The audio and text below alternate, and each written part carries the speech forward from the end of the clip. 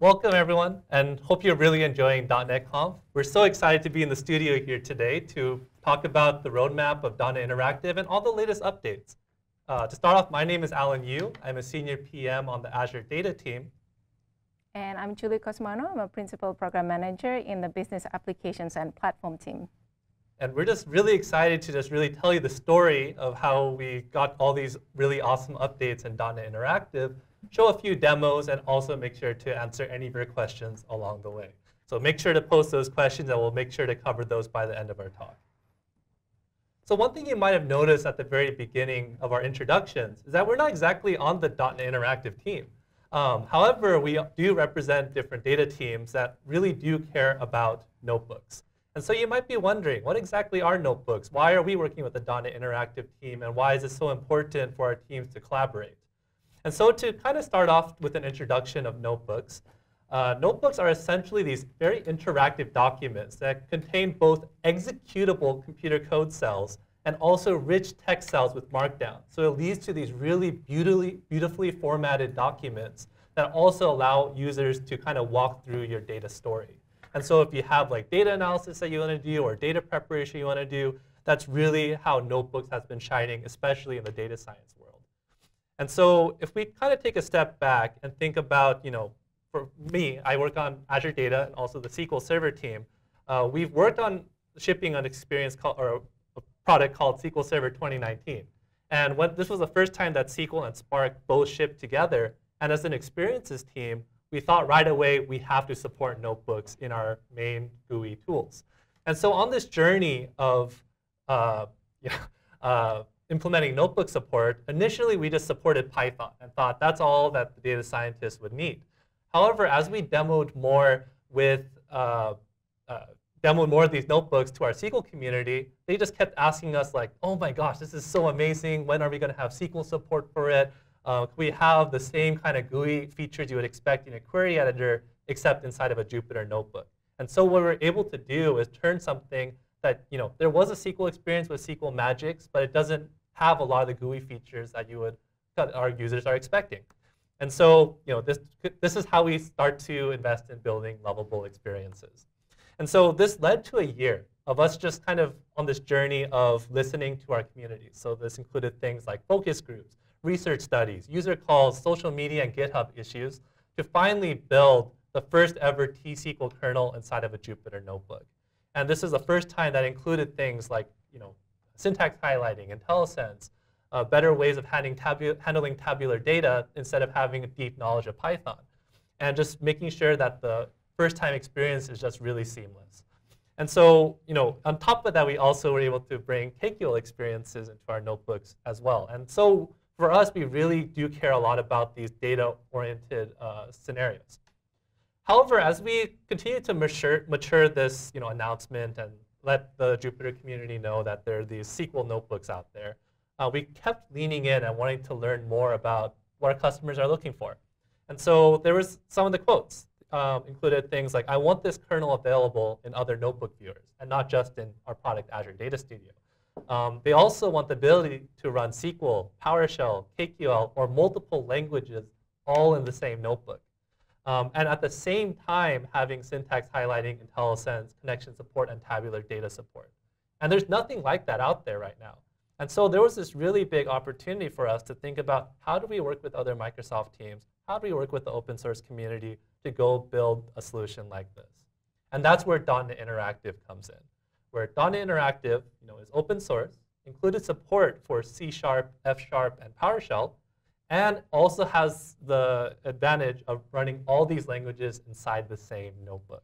And so, you know, this would also allow, like, if we were to take these data or kernels that we supported, like SQL and KQL, and were to bring it into .NET Interactive, this would allow us to bring this language support in VS Code, Azure Data Studio, Synapse Studio, and even code spaces. And that's really the vision of why we've collaborated um, so much over this past year. And as we were on this journey, um, we saw how collaborative um, just the .NET Interactive team was in terms of working with the PowerShell maintainers and thinking about, okay, you know, just in a hackathon project, let's go add this PowerShell support. And they went ahead and did that. And so for us, we were just like, you know what, let's just get some of our engineers, work together with .NET Interactive team and just see what we can do. And it turns out we were able to add this T-SQL support, which we announced last March. And because we, you know, it's really about, maybe it's a little bit cheesy about how much we're collaborating here, but this also gave us a direct pathway of how do we support KQL along the way too. And it kind of leveraged the same structure that we did to bring in T-SQL. So if we were to bring even more data languages into .NET Interactive in the future, we have a roadmap through .NET Interactive. And then finally, like we also, just from the Microsoft Global Hackathon, it's all virtual now, um, in the fall, we were able to get variable sharing support. So thinking about how do we not just ship like .NET objects or also ship these like you know data paradigms, how can they interact with each other? And that's what we did in this most recent, ha recent hackathon, and something we're really excited to demo to all of you. And so, you know, if you want to take just like a quick, you know, screenshot here, or do you want to go tweet out something, this is the money shot. This is the main takeaway uh, from this whole presentation. Um, so we're announcing for the first time new language support for KQL and .NET Interactive. Super exciting and just kind of shows that we're going to continue to invest in more language support in .NET Interactive. We're also excited to announce variable sharing across C Sharp, F Sharp, PowerShell, T-SQL, and Kusto, which is just amazing, the story of how we can bring all these languages together in the same notebook. Um, on top of that, just thinking about how do we work with our extension authors? We have such a vibrant community in the VS Code um, community who are, care very much about you know, notebook renderers. And so we already we have a demo that I'll quickly show off here um, using the data table extension. Um, and on top of that, just continue to invest in T-SQL. I don't think we can evangelize that enough. Like even from most recent user research studies, everyone is asking for more SQL support, more SQL support, more SQL support. Um, and then also finally, as you may have heard, there is also CodeSpaces support, which will now lead me into my demo here. So if I quickly hop over to here, as, oh, is this, that's the right one, right? Yeah. Uh, no, the, uh, the other one, the browser one. Oh, this one. Okay. Yes. Ooh, oh, I have okay. to restart. the beauty of live demo. live demos. Um, yeah. Yeah, so what we'll be showing here is that uh, what do you call it? We're going to show how .NET Interactive notebooks are working in GitHub Codespaces, uh, okay. which is uh, oh, right here. Uh, essentially, uh, you know, we want to show that this works on not just in VS Code or just in Azure Data Studio. This also works in code spaces. And so, you know, you can see right away we have all the important extensions that we need to have installed here. We have the .NET Interactive Notebooks extension, and we also have that aforementioned, aforementioned um, uh, data table extension support as well. And so if I kind of minimize here, um, for this demo, we're using this information from Chicago Speed cameras. And you can see right away that we are supporting uh, C Sharp. Um, I believe I should change this to .NET C Sharp. Oh, I need to restart the kernel. Uh, on the top part, I think you need to change to .NET Interactive. Oh, right. Did I do it? Did okay. I? No. Okay, well, you know, what we have here is we already pre-ran this uh, notebook. Um, and right now we're using the C-sharp kernel in this case, where basically, you know, we're taking all the information from this you know, JSON uh, formatted file, and then we're able to choose the output MIME type here to uh, the data summary one, I think. Data summary, that's yes. right. Yeah, Yeah, and so, okay, the kind of special thing that we have as part of this down, thankfully this one's showing off, is that you know before when you saw .NET Interactive, we mostly supported nteract. And that was the only kind of default visualizer that you could see inside of our uh, .NET Interactive notebooks. However, we partnered with uh, Taras, in, in the maintainer of the data table extension, and that's how we're able to um, you know, remove that dependency on just nteract and allow for different visualizers that we could plug in. And that's just really the beauty of all this is that you know you have this multi-language support, you have this flexibility of working with the community, and yeah, that's kind of what we want to show off here in terms of Codespaces. Awesome. That's a pretty cool demo, Alan. I really love how, um, for example, for you to get started, you only need to essentially um, start a browser, really. If you go to GitHub and then choose Code Spaces, it will always um, uh, be there uh, for you to try it out. All right, so now I'm going to actually show you the, uh, the demo on KQL. So as some of you may already know, KQL is Kusto query language, and you use it to, against Azure Data Explorer. So you type in uh, the cluster name and then the database name, and then you get connected. So that's generally how it works, but let me show you how that works in the .NET Interactive environment. So what I have here is a notebook with a KQL demo. I've already pre-run the cell, which actually just kind of downloads uh, the, uh, the interactive KQL, uh, the .NET Interactive uh, KQL extension. So all well and good. I make sure that I choose the right version there for the demo today. And then here's the fun part. Now, as you can see on the screen here, we are using the Hashbang Connect. So what that tells you is now you are going to connect to a specific language and a specific uh, uh, environment, so data source environment. So for example, in this one here, we're actually connecting to the help um, Azure Data Explorer uh, cluster and then uh, connecting to a database called samples. And I make sure that I call this kernel name Kusto help because, and you can call it anything actually, but you want to name it so that you can refer to it uh, later. So here's an example where I'm using it. So let me just scroll down here. So as you can see, I'm using the Hashbang KQL dash Kusto help. So what that really means is I'm, I'm using the KQL language and I'm connecting to the Kusto help that I have established earlier. And I made sure as well that I call this weather data because I'm going to use it later. So it's a pretty simple KQL uh, query, and it's analyzing storm events data. So let's take a look here. Let's run it. So we get about 10 rows here because I said limit 10, so it's going to get 10 rows. Now, this is pretty this is pretty cool actually. Like now as a person who actually love using you know, KQL language or SQL language, I don't have to learn, you know, how to modify or had to come up with a you know, different language or different code to just query. I can use what I have learned or what I know and put it there in the .NET Interactive notebook, and there it is. All I need to know is just a little bit of um, uh, this hashbang uh, magics, right, Alan? Mm-hmm. so, okay, so I, um, I have the table results here, so that's good. Now the next part here, this is where I find really super interesting.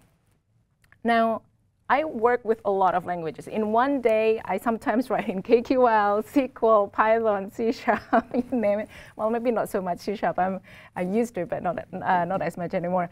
Um, anyway, so in this one here, like what if, you know, some languages actually have their strengths, right? So with KQL, it's obviously, you know, doing a lot of queries against Azure Data Explorer, but there are certain things that I wanted to do in C Sharp. Now, the cool thing about this, right, where I could actually pass that value from the query that I ran earlier from KQL runtime to C Sharp. And I don't have to write much of C Sharp, and since I'm very rusty in C Sharp. so let's, uh, let's give it a go here.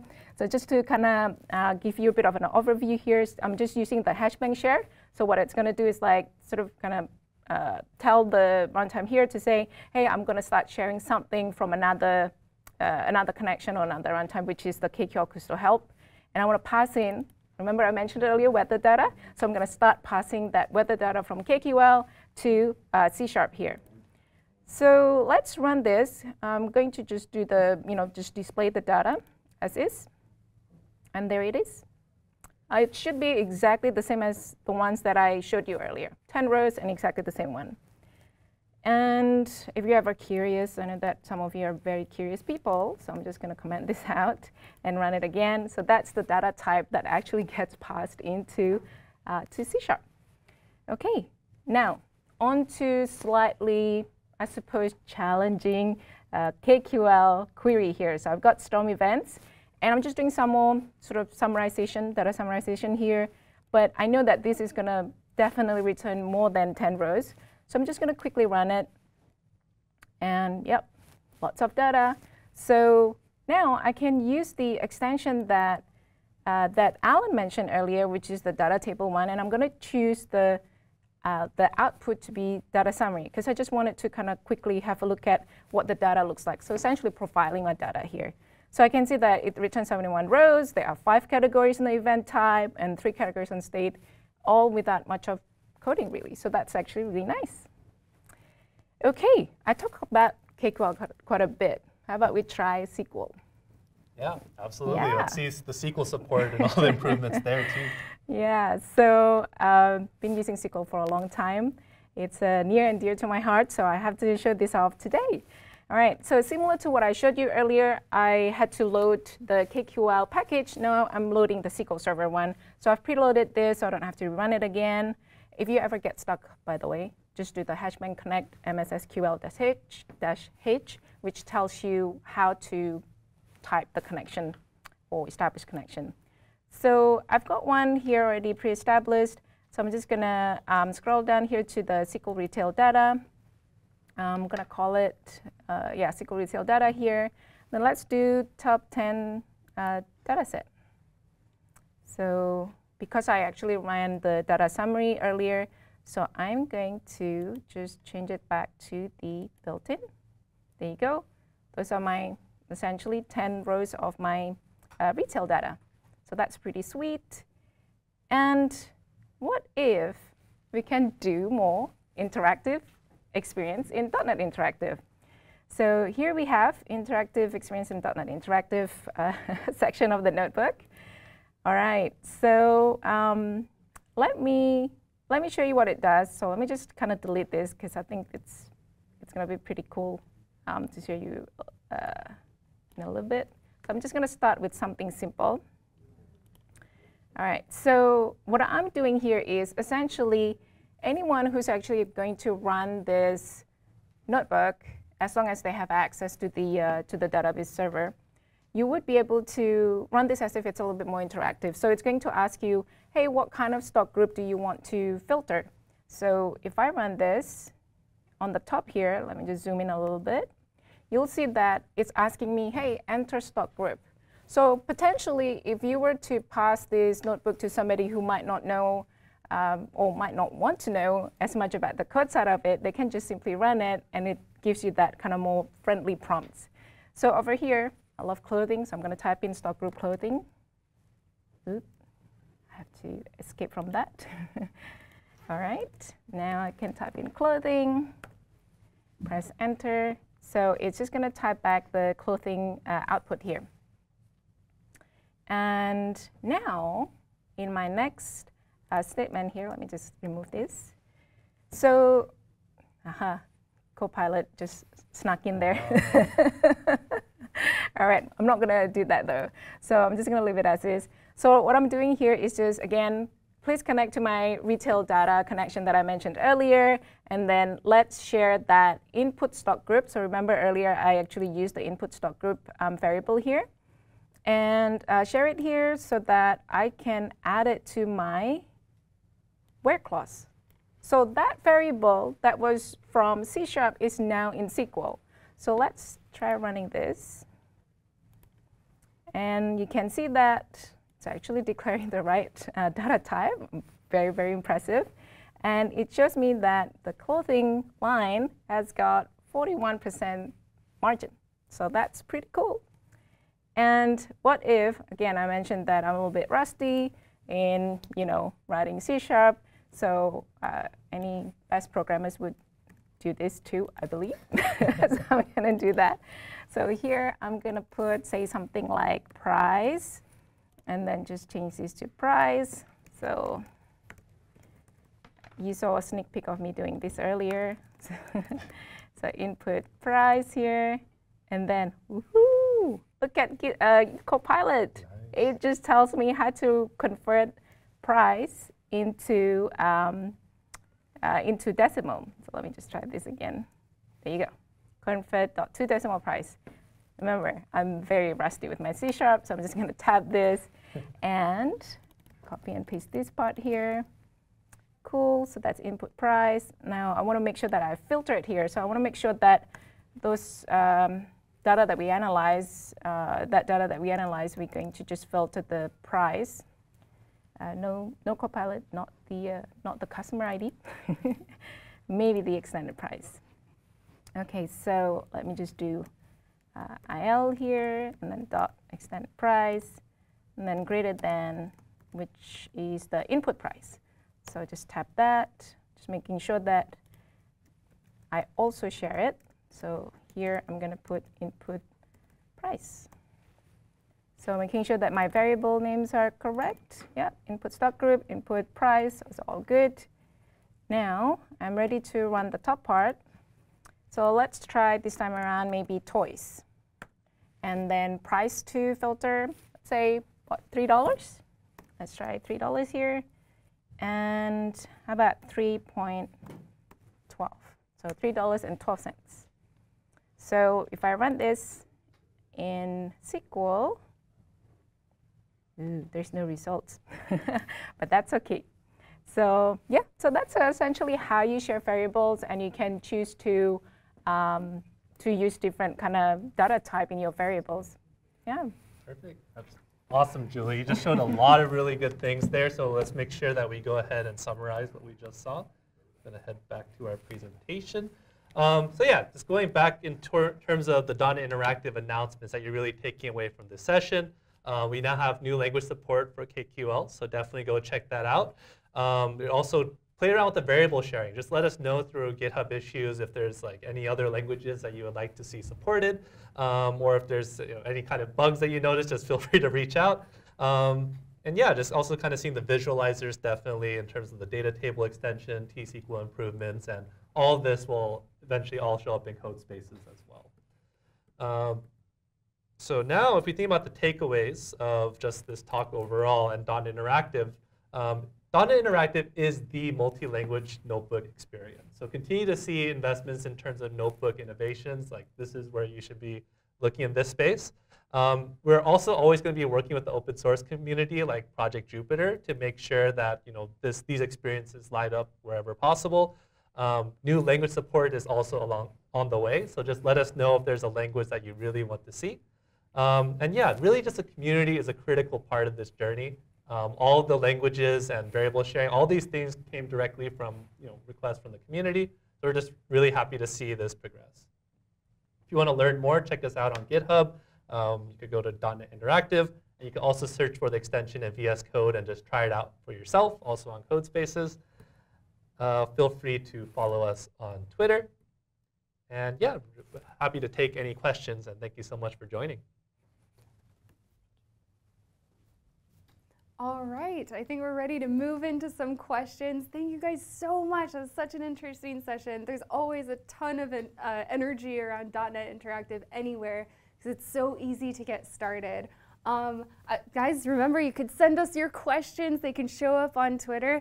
Um, but I wanted to ask, uh, it's, it seems so, you know, there, there's so many ways that this is applicable. I could run .NET um, Interactive on my own machine. I can use it in browsers. I can use it in code spaces. Where, if, if I needed to start at one place, where would I start? Um, you know, in terms of most of the major investments and all the kind of latest features, uh, you could definitely just start off in Visual Studio Code. You can go to our the extension marketplace today and just search for .NET Interactive. You can also see the notebook experiences that we've also been investing um, uh, in VS Code as well. So that's a really good place to start. But again, as I, was, as I was saying earlier, you could just go on a GitHub repo that has some PYMB notebooks, and you can launch that in GitHub code spaces as well. Absolutely amazing. Okay, so I have some selfish questions. Um, I noticed the KQL support. Was that Kusto or is that, am I, that's right? Okay, yes, yeah, that Kusto. is Kusto. So I can use this in my daily job actually, because I'm always using Kusto, looking at like what our users are doing, how many people are running tests, all of that stuff. How do you all use uh, .NET Interactive in your daily job? Is there any like meta data analysis of Interactive itself going on? Yeah, well, as a I suppose as a program manager, product manager, we usually look at um, a lot of you know event data uh, from other places. So we use uh, we actually use KQL quite a bit against other Azure Data Explorer, which is essentially the you know external name, and then internally we call it Kusto. But yeah, so it's been super helpful, and it's one of my requests. I still remember back in the day, I kept asking, you know, Alan, when are we going to support SQL and KQL? so I'm super glad that we're actually here and talking about it. So it's very exciting. Absolutely. I think one of the most um, impactful things, at least for my everyday, is linking data to our customer story. Mm -hmm. So the fact that interactive and, and just notebooks in general can kind of document all of that in line and have the queries because I'm sure all of my coworkers are sick to death of me copy and pasting Kusto queries into Outlook. They're never runnable. I missed like the, the links to open the query up in Azure and have the right databases and context and all of this stuff. But but I have a point. I promise I have a point. I'm trying to make a, I'm trying to, you know, back my arguments with data and, and link them into my everyday. Um, so ah, that's just super, super impactful. Um, I think there is a lot of uh, excitement around interactive. Let's see, I, I, think we do have one question here. So um, can you use the C-sharp kernel to build a, or sorry, can you use C-sharp to build a kernel with .NET Interactive so that you could add Oracle or SQL support? In general, like, you know, just think about just any kind of database that you want to support. Um, and that's something that, you know, just go to our feature requests on GitHub and you can collaborate with us, like, you know, thinking about things like in the relational world and you know, Postgres, MySQL, things like that. Um, it's definitely something we're open to having a conversation about. So definitely just reach out to us, very you know, community focused in terms of these feature requests and additional support. Amazing. Okay, I do have another question because I do see so much activity on this. Do you know what like percentage of your code base right now is coming from the community as, as far as pull requests and, and open source contributions? Um, that's something we'll need to just double check with some of the yeah, engineering teams yeah, because totally. we're not directly on the .NET Interactive team. Yeah. But I think it is really cool that you know we are just like partners of within Microsoft where we're just all coming together and just like investing in this experience together. Um, so yeah, there's a lot of just like even outside the .NET Interactive team where PRs are being submitted, just like PowerShell and T-SQL and um, KQL as well. So yeah, I, I, don't know off the top of my head, but that's something we can go that's check okay. with our engineering team. Yeah, I have high hopes. I always want to, I like getting the data and oh my gosh, thank you so much to all the contributors out there who are watching right now. So much of what we do and what we're talking about these days. I think, uh, what was it? I, I think Roslyn is over like 50% of PR contributions are coming from viewers like you. And uh, I know Stephen Toub's blog post on .NET 6 performance improvement specifically, he had to go, he went over 400 PRs just talking about those incremental little performance improvements. And a ton of those came from the community and he called them out. And even the framework that he used, BenchmarkDotNet, awesome, awesome contribution. Just showing that like having people around our tools and everything, we'd be nothing without you all. It's amazing. Thank you so much. Thank you for tuning in.